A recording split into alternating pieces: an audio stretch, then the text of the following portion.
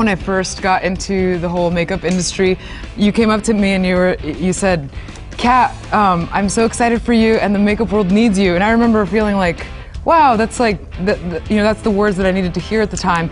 It has been the most positive, energizing, inspiring thing I think I have done in so long. And I think that Too Faced and Kat Von D, the brands, can look maybe so different, but really we're more alike than we are different. And Sure. you said that to me, and that's what I love. You know, when Jerrod came over to my house and uh, pitched this idea of having a heart-shaped component, you know, where it was half of it would be Kat Von D, half of it would be Too Faced, and then when you put them together, you can create a lot of looks. And I think, personally, my favorite product from the collaboration is the lipstick that I'm wearing right now. Um, it's called EXO, like you know, hugs and kisses.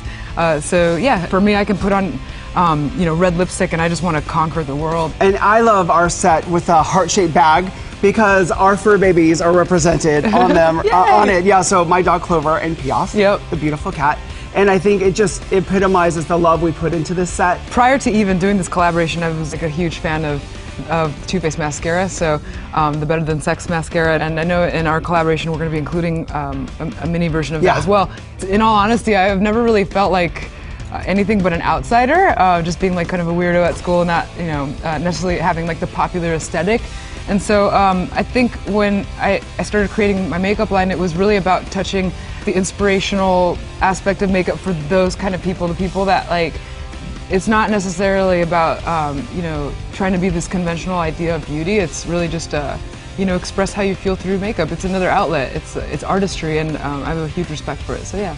Makeup is like your little box of crayons when you were little. It's it's the, the empowerment, the ability to transform yourself and be anybody you want to be. And hopefully, when you feel good or you feel empowered, you, you know you've hit that look that you've been looking for. You'll do better in the world. and You'll feel better about yourself.